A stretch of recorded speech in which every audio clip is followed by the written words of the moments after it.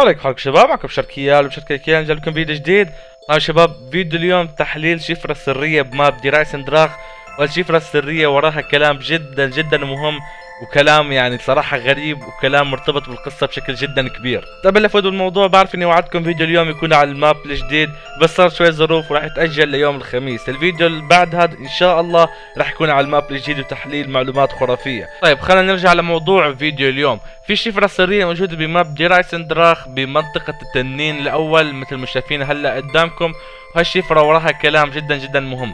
راح هلا أول شيء أحكي لكم شفرة بالعربي وترجمها قدامكم بعدين حللها. فيلا نبدأ بالترجمة. قيد بالصحفي اللي كان المفروض يوصل القطعة الأثرية. الصحفي خبرني إنه راح يشحن القطعة الأثرية على شاحنته بعلبة خشبية أو بقفص جوا الشاحنة. لما وصلت أنا عند الصحفي مشان أخذ منه القطعة الأثرية الصحفي كان عم يصرخ ويتصرف تصرفات غريبة ويتصرف بعدوانية. مسك لي ورقة بإيده وعم يورجيني إياها من بعيد وكان كاتب بالورقة خليك بعيد لا تقرب أكتر من هيك. القطعة الأثرية تحتوي على سحر شرير وعلى سحر قديم. وقد خبرت إنه لازم آخذ القطعة الأثرية واتجهت باتجاه القفص اللي فيه القطعة الأثرية. هجم علي الصحفي كان عم يتكلم كلام غريب عم بيحاول يقتلني. وأنا بسرعة كنت عم دافع عن نفسي وطعنته بصدره لأنه كان هيقتلني. طيب يا شباب على ما أظن واضح جدا عن شو عم بيحكوا شو القطعة الأثرية هي عم بيحكوا عن ال Summoning Key.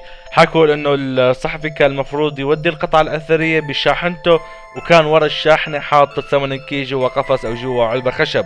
مثل ما شايفين بالضبط ب Shadow of Evil لما نبلش اللعب بنروح بنلاقي ال Summoning Key موجود بمثل علبة خشبية بشاحنة. طيب عرفنا هالكلام له علاقة ب Shadow of Evil مين الصحفي؟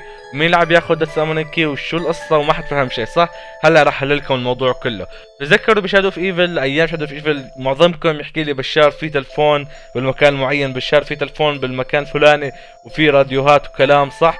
طبعا كل التلفونات هي والكلام اللي فيها كان للصحفي هاد كان الصحفي هاد عم يحكي يعني بأحد التلفونات كان عم بيحكي إنه هذا الصحفي مثل بعثوا له Morg City أو Shadow of Evil يعني قبل لا يصير زومبي من هالكلام وكان شغله إنه شو اسمه كان شغله إنه مثلا يلتقي بالناس هنيك ويحكي عن الحياة هنيك والأجواء ومن هالكلام. هذا صار يحكي إنه عم بيشوف أشياء غريبة ب Morg City ومن أحد الأشياء الغريبة اللي عم بيشوفها هي البيوض اللي منتشرة على ال map واللي عم تخلي الناس يمرضوا. طبعا هالبيوض موجودة ب Shadow of Evil يلي نحفرها وهي مثل قلت لكم زمان اللي شاف فيديوهاتي السابقة إنه هي كانت موجودة قبل لا تصير زومبي من هالكلام.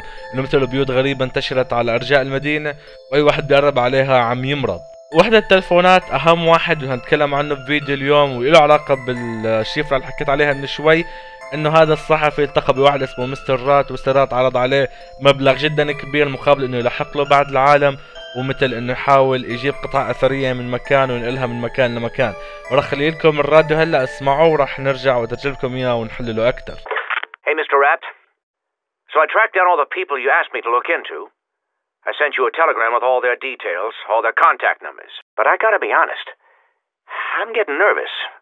These last six months you've had me working like a low-rent private dick. When really I just want to be a reporter. It's not that I'm ungrateful. I know the checks you've given me have been more than generous for services rendered. It's just all this stuff you've had me do.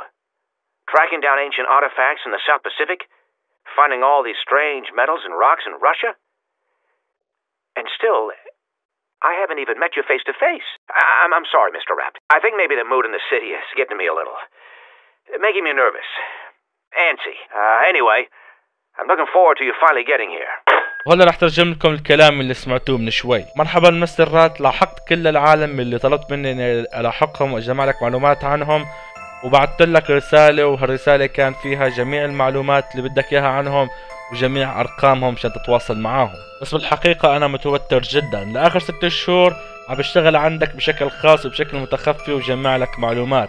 بس الصراحة أنا كل اللي بدي إياه إنه أشتغل بمهنتي واللي هي صحفي. هذا ما بيعني إني مالي ممتن لك أو شاكر لك. بعرف الشك اللي أعطيتني إياه. كان مبلغ جدا جدا كبير ومبلغ ما كنت أطلعه بشغلي العادي. المشكلة بالأشياء اللي عم تخليني أسويها. الاحق لك قطعة أثرية قديمة جدا وأعطيك كل المعلومات عنها. مهمة اللي بعتني فيها على روسيا لدور لك على الأحجار الغريبة جدا. ولهلأ ما قابلتك. وش تو وش؟ آه أنا آسف Mister Rapt بظن جو المدينة أثر علي شوي. خليني شوي متوتر شوي معصب. على كل حال أنا أتوقع لأني لاقيك قريبا. طيب شباب اللي فهمناه من الراديو إنه في واحد اسمه Mister Rapt Mister هذا معين عنده صحفي ومخلي الصحفي هذا يلحق له ناس معينين ويلحق له ويجيب له معلومات عن ال Summoning Key أو عن قطع أثرية. وكمان إنه بعته على روسيا ليدور له على أحجار ويعني قطع غريبة. الصحفي حكى ل Mister Rapt إنه هو ممتن على الشيك اللي اعطاه والمبلغ الكبير اللي Mister Rapt دفعه للصحفي بس هو متوتر ويعني مستغرب شوي من الأشياء الغريبة اللي بخليه يسويها مثل ملاحقة القطع الأثرية هي ال Summoning Key والأحج... وإنه بعته مهمة على روسيا ليشوف له أحجار وقطع غريبة. طبعا المهمة لروسيا وأحجار وقطع غريبة وبنعرف نحن بالمستقبل إنه عندنا map بروسيا فعلى ما أظن هذا مرتبط بال map اللي هنلعبه بروسيا بشكل جدا كبير. طب شباب لو بتروح ب Shadow of Evil وبتروح على أحد الشبابيك راح تشوفوا صورة زومبي والزومبي مطعون على صدره. مسك ورقة بإيده مكتوب عليها M طبعا لو نربط الأشياء مع بعض راح نعرف إنه هذا هو الصحفي. نفس الشفرة اللي سمعتوها أول فيديو. إنه في واحد ما بنعرف من هو بالضبط راح والتقى بالصحفي مشان ياخذ من عنده ال Summoning Key أو القطعة الأثرية هي بعدين الصحفي عم يحكي له من بعيد أو مثل ماسك له ورقة بإيده عم يحكي له لا تقرب أكثر من هيك بعد القطعة الأثرية هي ملاحقة بسحر شرير أو بسحر قديم. بعدين الشخص هذاك حكى له للصحفي إنه لازم آخذ القطعة الأثرية هي وأنا إجيت مشان آخذها. وراح وقرب على الشاحنة أو قرب على ال box اللي بالشاحنة لياخذ القطعة وفجأة الصحفي هجم عليه وصار يحكي كلام غريب كأنه ملبوس جن أو شيء من السحر اللي موجود بالقطعة الأثرية هي وبلش يحاول يعتدي على الشخص هداك. الشخص هداك كنوع من الدفاع عن النفس أخذ سكين وطعن الصحفي هذا على صدره لأن الصحفي هذا كان راح يقتله. نستنتج إنه كل أحداث هي المكتوبه بالشيفرة ب map Der Eisendrache كانت أحداثها ب map Shadow of Evil أول شيء إنه مثل هداك الشخص اجى لعند الصحفي والصحفي كان حاطط ال Summoning Key والقطع الأثرية بمثل صندوق خشب والصندوق هذا كان حاطه بشاحنته. ونفس الشيء ب Shadow of Evil بنلاقي شاحنه وفيها صندوق خشب وموجود فيها ال Summoning Key بعدين إنه هداك الشخص الصحفي تعدى على هداك الشخص وبعدين هداك الشخص طعنه بصدره. أنتم شايفين هذا الزومبي أو الشخص اللي مطعون بصدره ميت بأحد الشبابيك ب map Shadow of Evil هذا هو الصحفي. لو بتلاحظوا يا شباب الصحفي المطعون ماسك ورقة بإيده الورقة هي عليها حرف M وعندنا شفرة سرية ب map Shadow of Evil وشفرة سرية ب map Der Eisendrache والاثنين فيهم شخص ومكتوب هالشخص اسمه حرف M فما كنا نعرف ناس كانوا يحكوا Maxis ناس كانوا يحكوا دكتور Monty بس هلأ على ما أظن عرفنا إنه هذا هو Mister Rapt. صار القصة بشكل جدا سريع. في صحفي اجى على مدينة Morg City ليكتب مقالات على المدينة وجو المدينة بالليل إنه بتعرفوا Morg City جوها مثل نوادي الليلية ومن هالكلام. فاجى على هالمدينة وكان بده يكتب مقالات هو صحفي. بعدين التقى بواحد اسمه مستر راس أو مستر راس يعني تواصل مع هالشخص وعرض عليه مبلغ مالي ما كان رح يجيبه بشغله العادي ابدا مبلغ مالي جدا كبير. والمبلغ المالي هذا صار يطلب منه يسوي أشياء غريبة مثل يجمع له معلومات عن ناس معينين.